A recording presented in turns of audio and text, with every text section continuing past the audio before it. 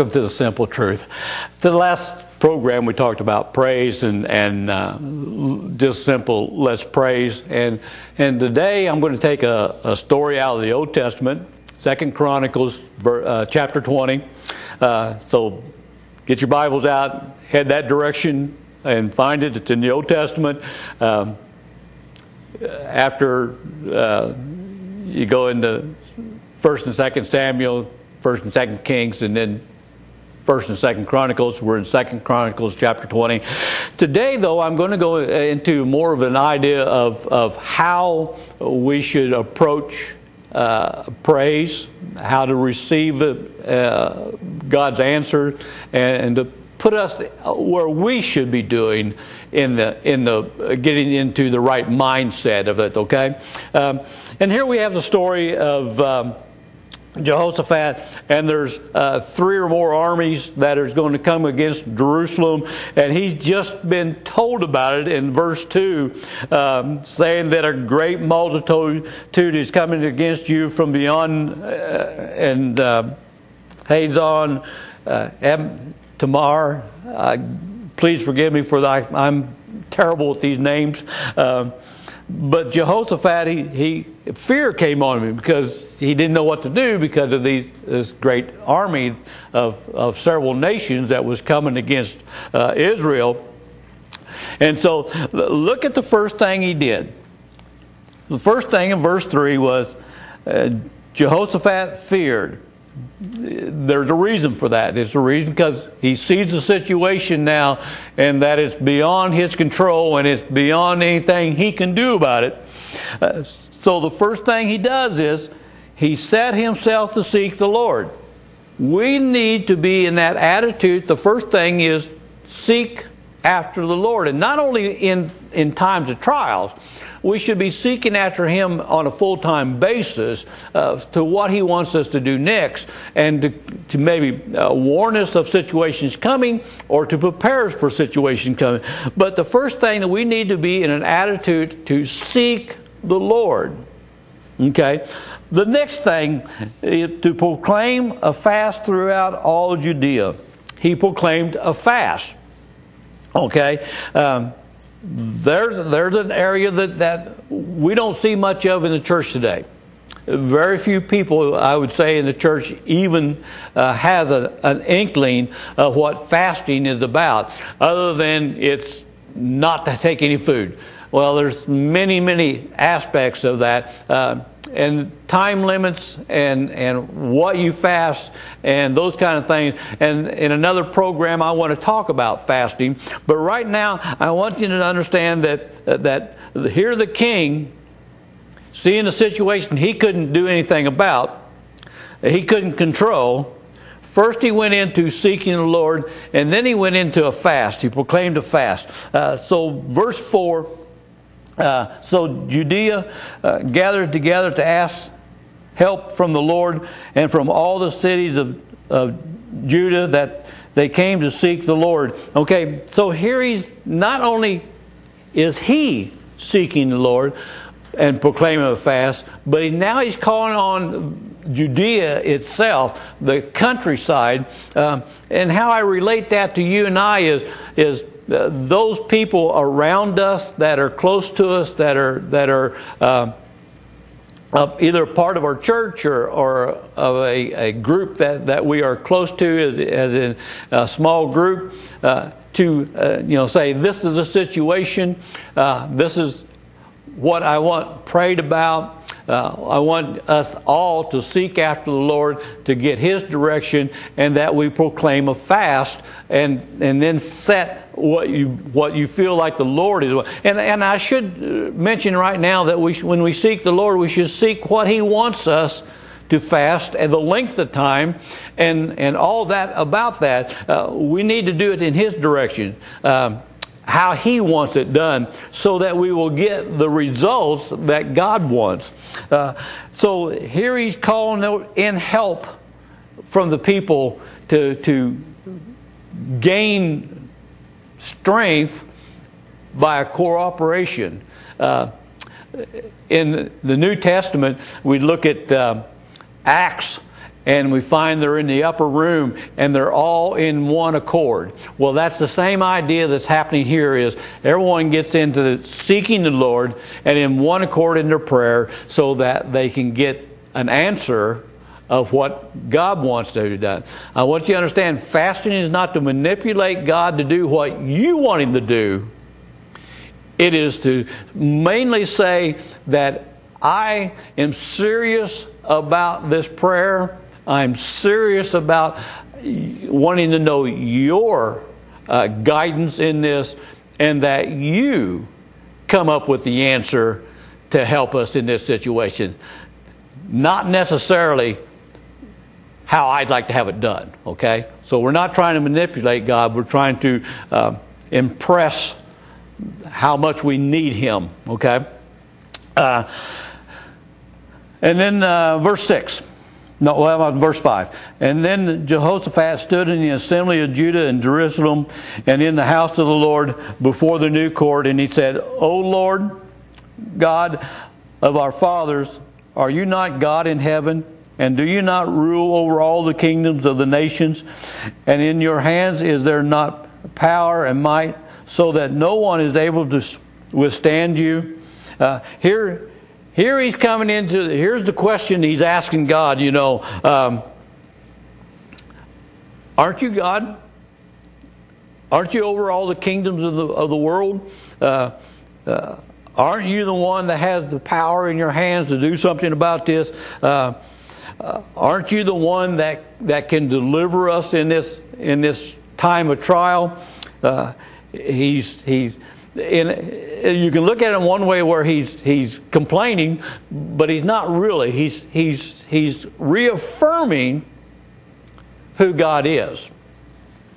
Uh, verse 7 Are you not our God who drove out inhabitants of the land before your people Israel and gave it to the descendants of Abraham, your friend forever? Here again, he's, he's bringing back in when we uh, talk about praise, we remember the things God has done, the great things He's already done, so that we can not only, uh, in a sense, reminding God that He knows about it, but it's reminding us and building our confidence in God so that we can, we can move doubt out of the way and bring in confidence of our great God that, that can, our awesome God. Uh, verse 8 And they dwelled in it and have built you a sanctuary in it for your name's sake. If disaster becomes us, sword, judgment, pestilence, or famine, we will stand before the temple in your presence, for your name is in the in this temple, and cry to you in our affliction, and you will hear and save. Now look at it. He says, even if, you know, disaster comes, even if everything that we don't want to happen happens, here we are standing before your temple, calling out to you, crying to you in our affliction, it says. And here again, and you will hear and save. Again, affirming, you know, we're in this mess, but we want you to know that you're God and we're not, and we're going to praise you even if the worst comes on us. Because we know that you hear our prayers.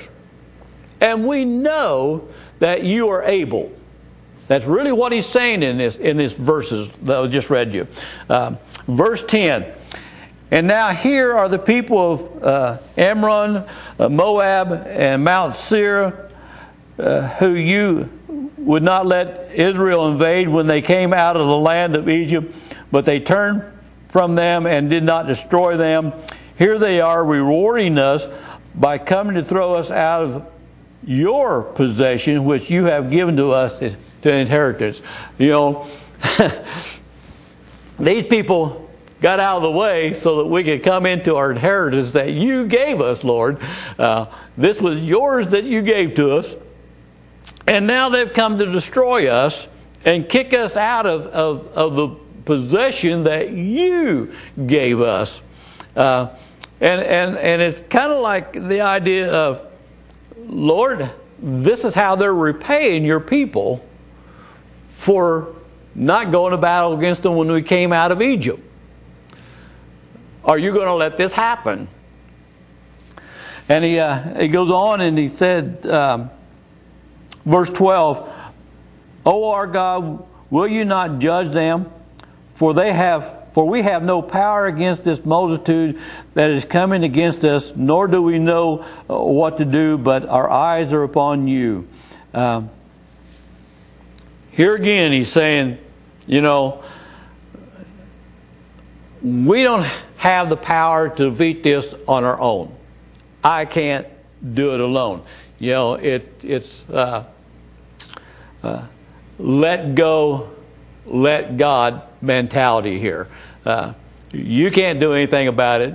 You're not powerful to stand against this army. Uh, just like sometimes we're not powerful enough in ourselves to stand against a situation, uh, whether it is a situation or a disease or, or an attack of the enemy or whatever, uh, we're not able to have the power to, to overcome that, but you do. Now, the only way that you and I have power to overcome that is if we're seeking after the Lord. Because He gives us the power to overcome. He is the one that delivers us even through a situation or, or deliver us from. Uh, we always want to be from, but more times than not, it seems like it's, it's, through a situation. And in that, in doing that, we find that we gain uh, wisdom, we gain confidence that we can trust in Him for everything, no matter what it is. And here, uh, the king is putting it into perspective. We don't have the power to defeat this army. Uh, we don't have the wisdom how to do this, but you do, Lord. Show us the way, show us your wisdom, and help us through this battle. Uh, verse 13. Now, all Judah with with their little ones, their wives, and their children stood before the Lord. In, the, in that verse, without it saying it, kind of reading between the lines here, uh, they're coming into unity, agreeing with what the king was praying. Understand these verses that I've just read to you was his prayer. He was making inter, you know that intercession to the Lord of this is the situation and we need you. And then in verse 13, I believe that, that it's, it's bringing out into us that this whole assembly of people, this, this congregation, stood in, in one accord with what the king was saying, with his prayer, and understanding that they, along with the king, needed a deliverance from God Himself.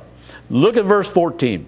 And then, when they got into this one accord, as in Acts, uh, we read the, the 120 in the upper room came in one accord, and then there was a sound of a, a rushing wind, and uh, like a rushing wind, and then the uh, flames of fire touching on top of each one of them you know, no matter who it was in that room, because they was in one accord. Everybody was the same. And this is the same thing I believe is happening here, is, is they're in one accord. Uh, there's not one greater or lesser, but they was in, in agreement.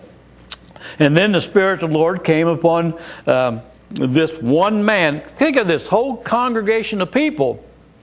But the Spirit of the Lord only said on this one man to give a prophecy to hear from the Lord.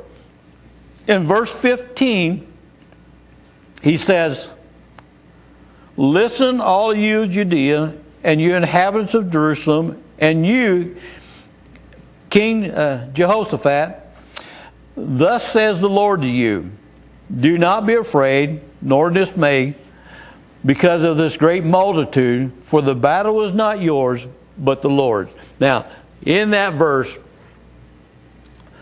here the Lord has given us an, an, a start of an answer of this prophecy. Uh, he's, we've, we've sought after Him. We've been in prayer. We proclaim a fast. So He knows that, that, that we are, are, are being sincere about it and that we're not looking for Him to do what we want Him to do, but for Him to do what His will is. Anytime that we are seeking God for only what I want, I'm in trouble because I'm not looking for His will, I'm looking for Him to do my will. And we need to understand God is God you're not. So when we get in those kinds of troubles, first we need to seek after Him as we should be always. We need to be in prayer as as as it, we've read in in uh, 1 Thessalonians uh, chapter 5 rejoice always and do not cease from prayer and fast. It's it's almost like when you put those three together, you you really put a, a, a power plant together so that God can work in and work through so that His will be done and not yours. How many times have we we've heard uh, maybe a prophecy and we could think of a thousand ways God could do it, and He'll come up with a thousand and one. Because His way is not our way, His understanding is above our understanding. We need to allow God to be God and let Him do the things He wants to be done. Okay, so uh, He's answering them now. Praise God that He that He answers us in prayer if we'll listen. Prayer is a two way street. Uh, we can pray, but we need to also be listening with that spiritual ear so that the Lord can speak to us in that time of prayer to let us know what the way and how we should be doing something. Uh, he tells them not to be afraid. The battle's not yours, but God's. How many times have we tried to fight the battle when it wasn't our battle to win or to fight? It was God's, and we needed to let Him be God. Uh, verse 16 Tomorrow go down against them. They will surely come up from the ascents of uh, Ziah, and you will find them at the end of the brook uh, before the wilderness of Jeruel. Uh, you will not need to fight in this battle. Position yourselves, stand still, and see the salvation of the Lord who is with you. O Judah and Jerusalem. And do not fear or be dismayed. Tomorrow go out against them, for the Lord is with you.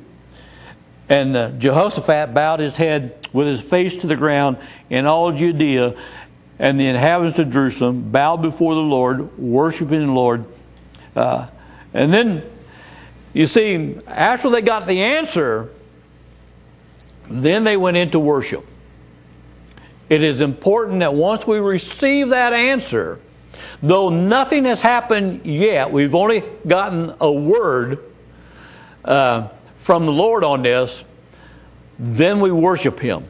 And that includes praise, that includes singing. That includes, uh, as they did, bow down before Him, uh, submitting to the Lord so that we become in, in a humble state before Him. And verse 19, it talks about the Levites, uh, um, uh, how they stood up to praise God of Israel with voice uh, loud and high. Listen, I tell you, it, there's a time when you get a word from the Lord that He has answered you. Man, that's a time to start praising Him in worship. Now, let it go, uh, praising Him. Uh, so, verse 20. So they rose early in the morning and went out in the wilderness of uh, Teah. And as they went out, Jehoshaphat stood and said, Hear me, O Jerusalem, and you inhabitants of, of, uh, of Judah and you inhabitants of Jerusalem. Believe in the Lord your God, and you shall be established. Believe his prophets, and you shall prosper. And when he had consulted with the people, he appointed those who sang to the Lord and, and who should praise the beauty of holiness as they went out before the army and were saying, Praise the Lord for his mercy endures forever. Now, what general would send the praise team into battle in front of the army? And yet, that's exactly what God wanted. That was the way God wanted it done. How many times would we look at that and think, how foolish? And yet, that's the way God wants to have it done. And always, and I want you to know, always, even though it may look foolish to us, He may ask you to do something that you completely think is foolish, that you may even think is dumb. Do it anyway because God's got a way, and it's better to go with Him than not. Because when you go with Him, the results are going to be what He willed, even though you didn't understand why you had to do it that way. I can tell you story after story of times when God had me do something and I thought, oh my, are you serious? And yet, I've seen people get healed because of doing something that is, in my own mind, I thought was completely foolish and, and had no idea how they would react, and yet got healed. It is simply, there's a time when you forget about seeing and you just believe and follow after what he says. Here he says, send out the praise team, send them first, stand and watch what's going to happen. Uh, and then in verse 22, and then when they began to sing and to praise the Lord, uh, the Lord set up ambushes against the people of Ammon, um, uh, Moab, and Mount Seir, who had come against Judah, and they were defeated. How we think sometimes, what can praise do? It can defeat the enemy. It can put them to flight. It can change the whole atmosphere of the situation if we'll go into praise. So, so I'm going to give you a little guideline here and, and I don't want to make it a, a fast set, this is a law type thing, but I want you to think about it. First of all, the king sought the Lord. That's what we, we really all should be doing first. Yeah, if, if I'm sick, I want to pray about it first and, and then go to the doctor. Uh, when I had knee replacement, I, I prayed about it, prayed about it, and prayed about it, and finally uh, God used a doctor to, to replace my knees, and it has been such a, a blessing, not only to me, but to encourage other people that, that God uses doctors too. And, and they've gotten a blessing out of it. And so uh, be an encourager, even though you may not understand what, what's going on. The second thing is always be in prayer. Seek the Lord, be in prayer. The third thing that we don't do much of, and we should, and that is we should call fast, proclaim a fast. Uh, for you know, and, and again, I, I question, I put it this to you: uh, pray about it that the Lord tells you how long and what that you're to fast. Uh, do it in His will, not your own. The fourth thing is praise continue to praise Him in the midst of that trial, in the midst of that difficulty, continue to praise Him. And as you're praising Him, the fifth thing is watch for the answer and be willing to receive. Seek the Lord, continue to pray to the Lord, proclaim a fast, continue to praise Him, and then when you receive, continue to worship Him with your praise and with your joy. And I want you to understand sometimes it is you alone that needs to do these things. But it sets you in a place where God can answer, where God can take you to that place you need to be going, and that He can, he can show you His glory by having victory over whatever it is that's come into your life. But also, it's not wrong to have people of faith that you know are going to come into one accord with you, and they will seek, they will pray, they will fast, they will praise, and they will be watching for you to receive that blessing that God has for you. Today, churches, these five things, and they don't have to always be in these orders but these five things is something that we, the church, need to put into our worship, not just because of trials that's coming at us, but just so that we can see His glory, so we can see the healings that He has for us, so that we can see the blessings that He has for not only for ourselves, but for those around us. It is time for the church to stand up and bring revival the way God wants revival to come so that His hand can reach out farther, touch people, bring them into His kingdom, and show them His glory. And you and I, His hands and feet, should be about His business. Stay in praise, stay in prayer, and look for the answers. God bless you, and we'll see you next week.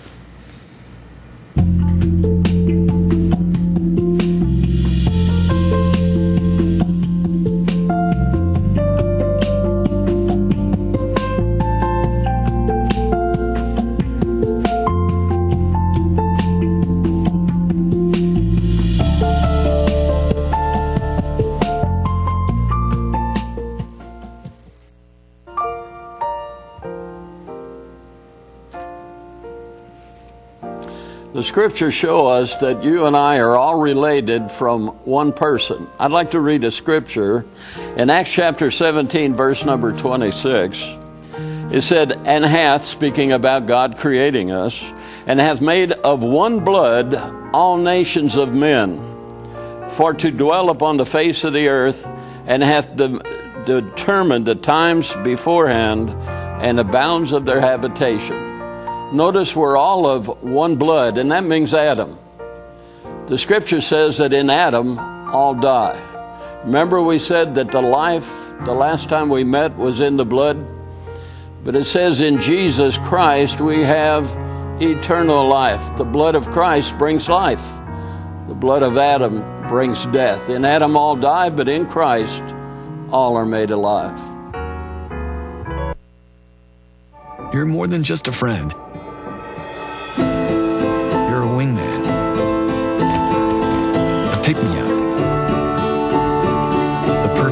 filter, and a much needed laugh. But on the toughest days, when I'm not sure who to turn to, you might just be a lifeline